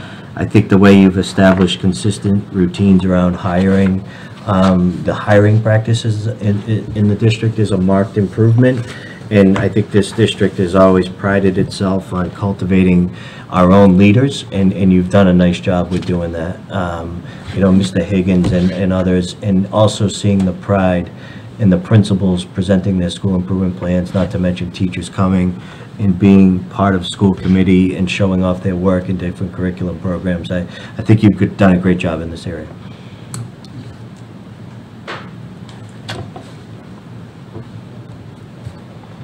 Anyone else at the table? I agree with Steve. I would like to see a little bit more communication, but I'm hoping that he'll be able to have more communication openly. Bob? And I look at this uh, in comparison to the, I'm counting here, 10 superintendents that I worked under or with. Uh, And based on, based on that, I have to agree with the, uh, with Steve. Uh, Everything I, everything I rate, I have to, in my mind, compare to all the people that have served in that position before. And that's what I compare it to. Okay. I had um, met for this goal, and I kind of echo Mr. Sankowitz's sentiments. Um, I can speak from my own experience as a parent prior to joining the committee and on the PTO. I think there was wonderful communication. My only area of concern, I guess, would be uh, more so with the towns. Um, They're certainly an important stakeholder, so um, I'd like to see what we can do to improve that communication. Yeah, and, and being more solutions oriented here, right? I, I think there's just so many members on both sides of each town that, that expect communication, right? So, so just coming up with a way to strategically mm -hmm. be mm-hmm. able to communicate to all stakeholders at once and make your job easier um, is something we can certainly talk about for sure. Kristen? I'm good. Okay. Myself, I, I think he, uh, I give a reading of, of Met uh, for, the, for this goal.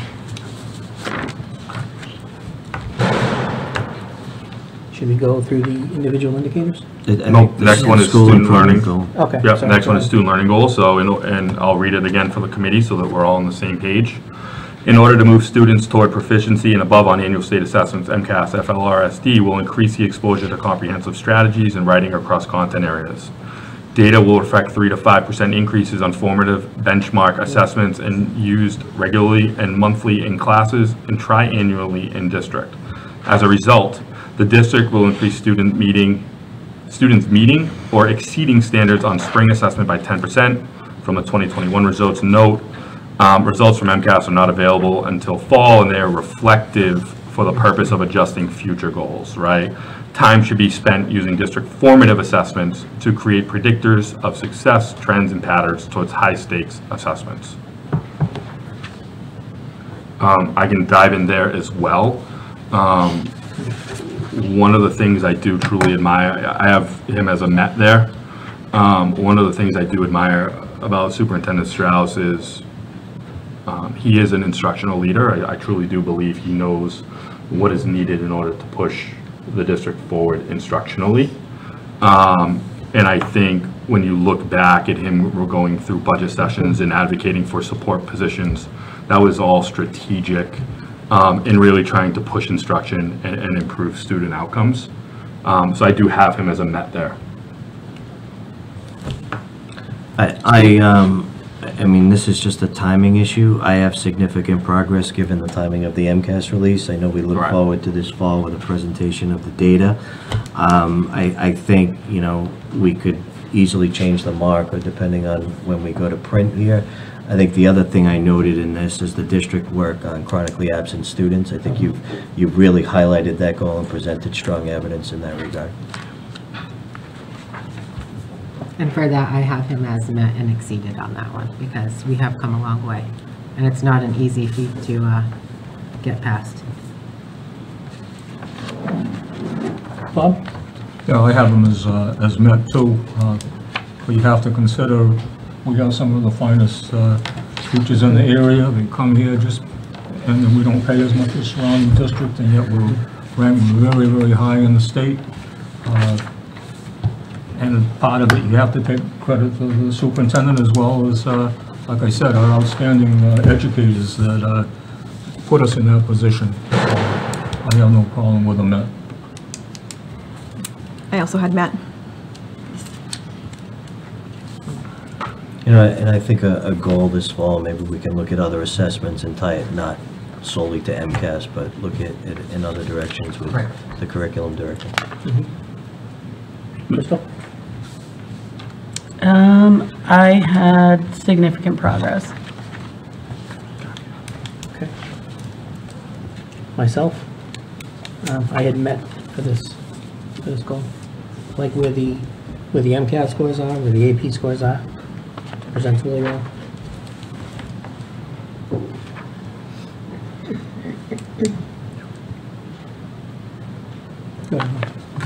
The last one is a school improvement goal, right? And Mr. Strauss, correct me if I'm wrong, this one was around retaining, recruiting, and hiring quality staff? Correct.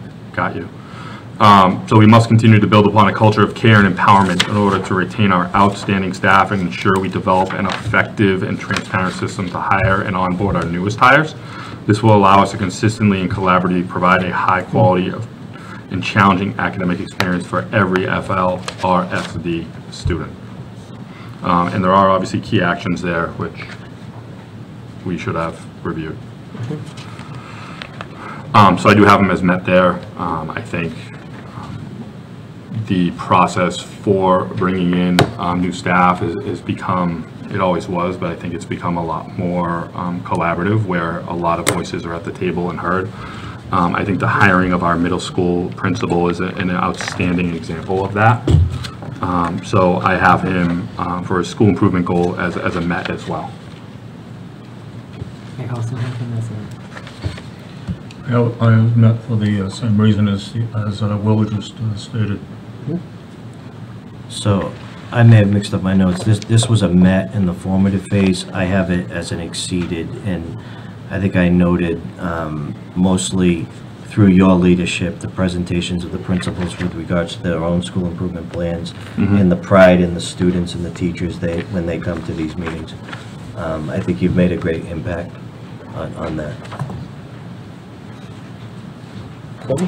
I had um, this as met. Crystal? Significant progress, just due to the high turnover rate at central office. That impacted. I have the goal as met.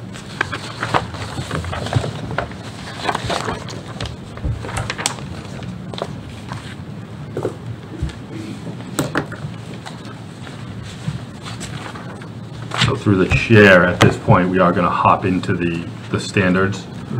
Um, I think we'd be here all night if we tackled every single indicator. Um, So really, I think we should go down and just handle it with the four standards. Um, Taking a look at where you rated each indicator, and obviously that would inform your rating for standard one, instructional leadership, standard two, management and operations, standard three, family and community engagement, um, standard four, professional culture. Obviously, if there is some feedback within the standards pertaining to a certain indicator, I think Mr. Strauss would certainly want to hear that. Um, But I think in order to streamline this process just a little bit, we can just tackle the, the ratings per indicator. But I would refer to, to you, the chair, and then Steve, the chair of the superintendent evaluation subcommittee. Personally, I'm okay with it. Steve? Yes. Okay.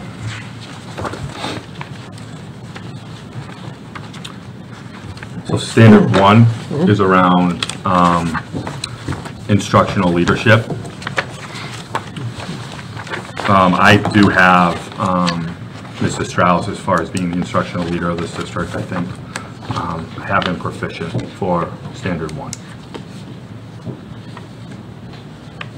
I have Mr. Strauss as proficient, standard one.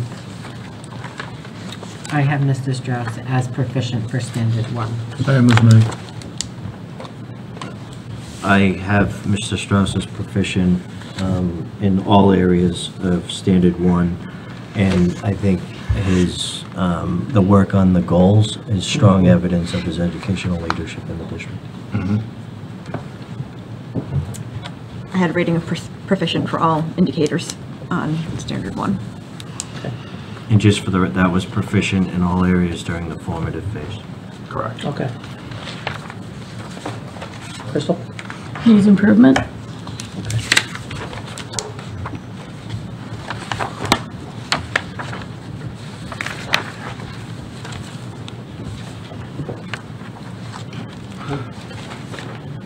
Standard two would be under the management and operations standard. Um, For me, um, I believe if we're gonna, standard two, uh, as part of his formative, he was proficient in all areas, Mr. Strauss was, and I don't think this is coming to a surprise of anybody here, including Mr. Strauss. Um, Standard two for management operations, I do have him as a needs improvement. Um, That was not across all indicators, but, but some of the big ones that, that I deemed um, to be pretty important, specifically pertaining to budget. Um, With that being said, I am confident that, that the superintendent has already started to, to fix um, what had kind of transpired during the budget process. I think the hiring of Jack is a huge piece of that. Um, I think Jack and him working together to put some um, kind of catch nets in place in the business office is huge. Um, So he is a needs improvement here, um, but I don't think that's a surprise to him or, or anyone else. I also have him proficient in all indicators except for the fiscal, fiscal systems pertaining to the budget, that I have needs improvement, otherwise proficient.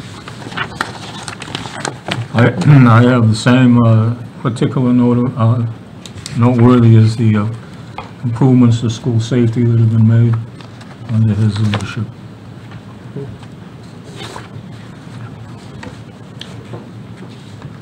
I rate the same for the, for the fiscal systems um, as a needs improvement. Um, Also, the environment I had as need improvement. Um, It seemed like the, the transportation um, was an issue throughout the year. And, you know, not for lack of effort in firefighting, but we didn't quite get there. And we had some significant staffing issues that I think caused, um, you know, our maintenance, uh, you know, of our building and grounds not to be where we, you know, we all want it to be. Um, But as a whole, for this indicator, I, I rated proficient. Just for the record, this was proficient in all areas during the formative phase. I have sort of a combination of proficient and needs improvement, but it's more of a, a- a, de- a developing or emerging skill in the areas around the budget, um, collaboration, you know, t- getting a, a better grasp of the budget and, and building relationships with the town. I mean, I think there was some pointed feedback in the formative on that, but it's, it's a developing area um, on the fiscal piece. So there's specific notes on a certain indicator for me. I had um, needs improvement, and, um, you know, the the biggest one for me was the fiscal systems, just around the budget. I don't want to beat a dead horse, we all know.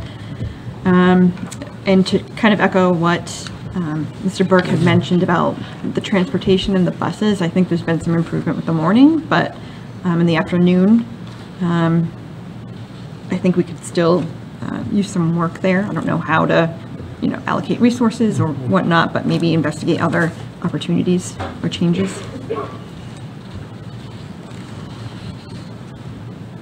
Crystal? Went from needs improvement to proficient. The only one that was unsatisfactory for me was the budget.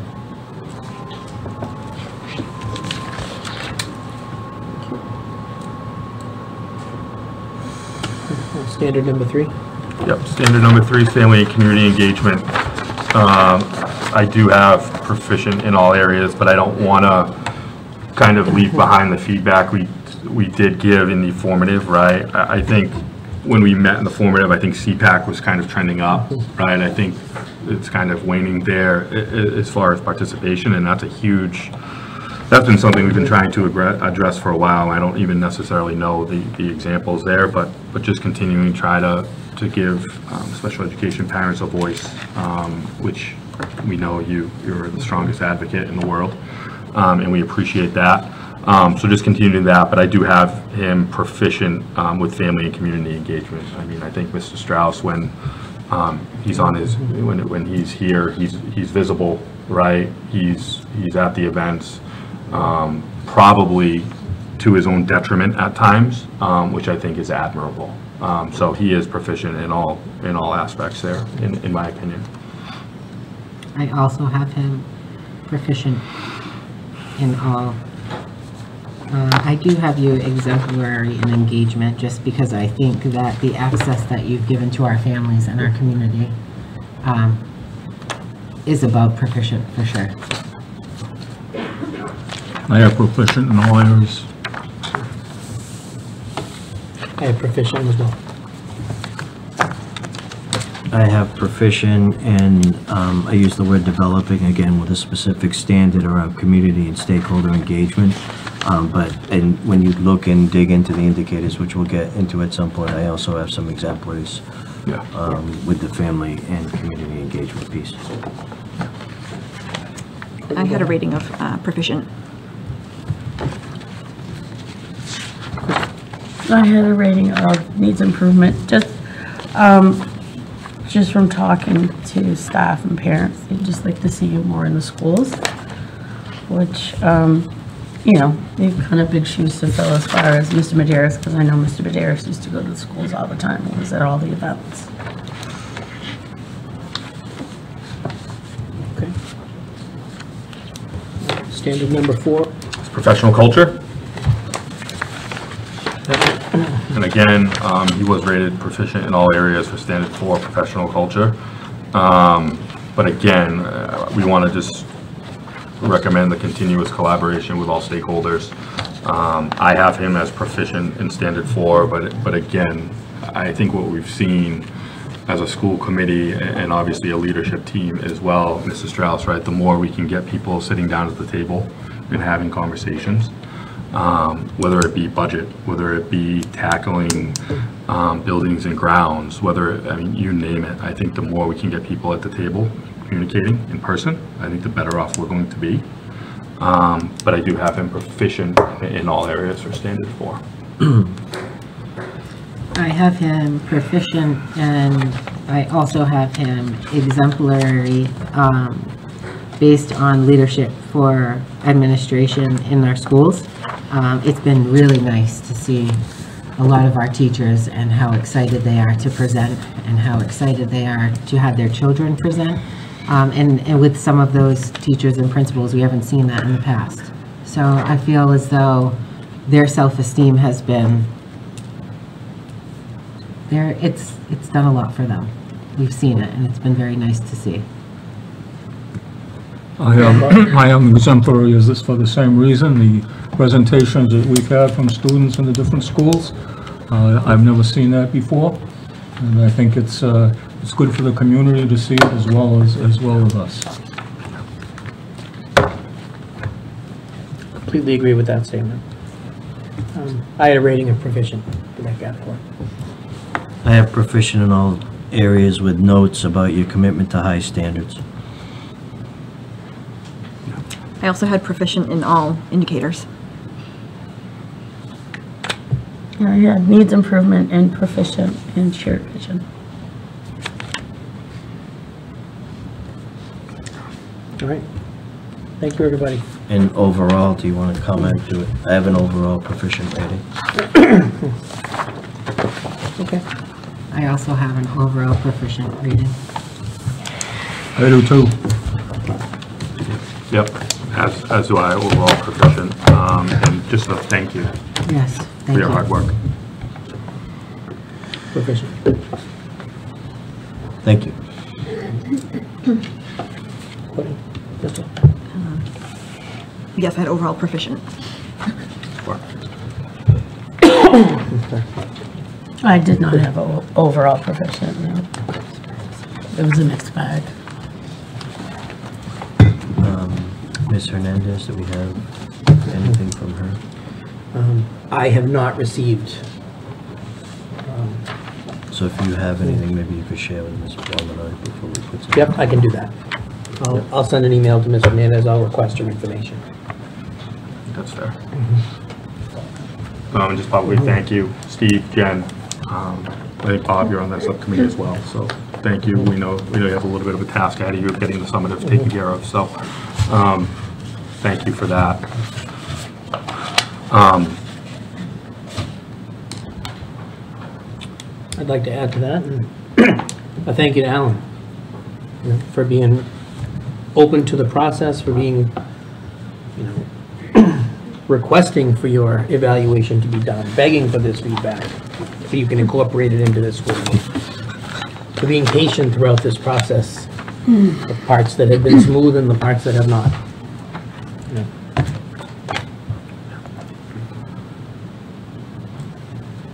Any comments, questions, anybody? All right. I will ask the committee members to share their individual feedback with Steve and Jen. And any Is there a deadline? Can we put a deadline on that? Because we Okay. need to, we're gonna, I mean, the- writing up that report is not, it's, it's gonna take time. Um, So Steve and Jen, when would you folks need the committee to send you our, our data? I'm gonna say if you want a final reading by September 25th, that may be, Steve, that by the end of next week, at the latest. Sure. Or even sooner. I mean, it, obviously, we did some work to, to get to this point. And We if you want to share your notes, we're happy to, So if Put we that do, um, Steve, if we did September 13th, that gives us 10 days, basically. To Do you turn want it more around. time than that? I don't think so. Okay, so let's say by the 13th, we have all information, including Carolina's, please. okay. Yep, great. Any additional business? Anybody at the table? Just, just one thing, and is, is Mr. Goodwin still there? Greg, how are you? Can we just get an update um, just regarding kind of the state of the schools and, and kind of as far as, I know we spoke at the last meeting, just revolving around the schools being ready for, for kids to come back. I know today was the first day of school. Um, Is there, uh, where are we at with, with the buildings? Is there any glaring needs that we need to address? Because if the school committee needs to come up with some alternate solutions to help Greg, we know, we know you guys are flat out. Um, But I think it's worth mentioning that if there's anything that the school committee can do to help in that area, we're, we're certainly more than happy to, to do so. Um, So I, I would just, is there an update? Are we in a good spot, or what are your thoughts? We visited schools, Greg, feel free. Where where are you, Greg? Oh, there you go. All right. Um, We've obviously visited schools today. AES is in great shape, FES. um, I want to thank the town again. They, they, if you haven't been there, bushes were pulled out. Um, It looks fantastic. Um, They helped spread mulch. It looks fantastic. Classrooms are cleaned. Um, Campus schools are in good shape. Uh, You know, I- I said it before. Um, In all my years in education, classroom administration, I've never seen a student say, I can't learn because there's dirt in the corner of a classroom. Um, I I have seen far too much uh, complaints about Greg and his team um, prior to school beginning. And they worked all weekend, they worked on Tuesday. And- And yes, they have a small staff. Right. Certainly, people have to remember that AES was not taken care of for a while because of the project going on. Right. So that needed to be the focus this summer, now that the window projects had been completed. But um, I walked the halls this afternoon with Mr. Ward, and the building looked great. Um, I don't know, Greg, would you like to add? I knew there'd be something. It's our guy. Grab a mic. We, uh, you know, like you say, you know, what could you do for us? I mean, the obvious is the obvious. We could always use more staff to get us where we need to be. And we have been kicked around a little bit with public comments uh, for where we're at with certain things.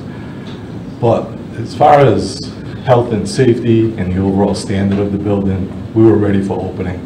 Uh, Some people felt that, you know, we didn't give them the bells and whistles of cleaning, uh, but that's not gonna happen every year in every building.